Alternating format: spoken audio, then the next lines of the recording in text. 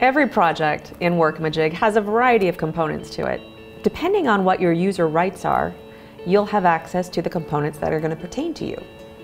Right now we're going to look at a schedule.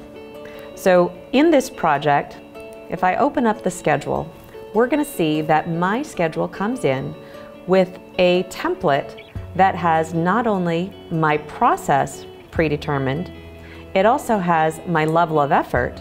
So what types of roles or services do I need to facilitate these tasks along the way? And approximately how much time of them do I need? And don't forget your timeline.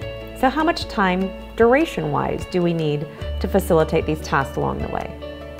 When this comes in with a template, it gives me the ability then to make adjustments that might be unique to the project at hand. I can certainly adjust what types of needs I have resource-wise, and it's very easy, of course, to adjust durations.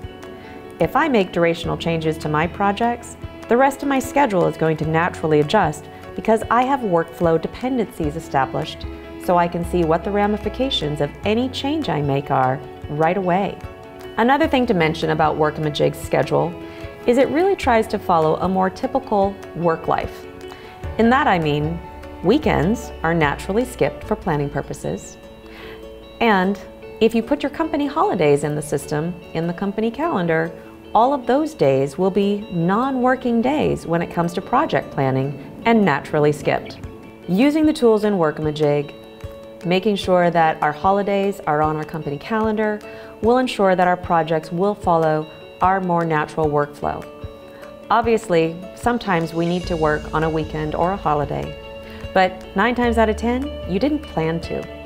So having Workamajig set up to follow that default will ensure that we won't accidentally plan for work to happen on days we're not planning on working.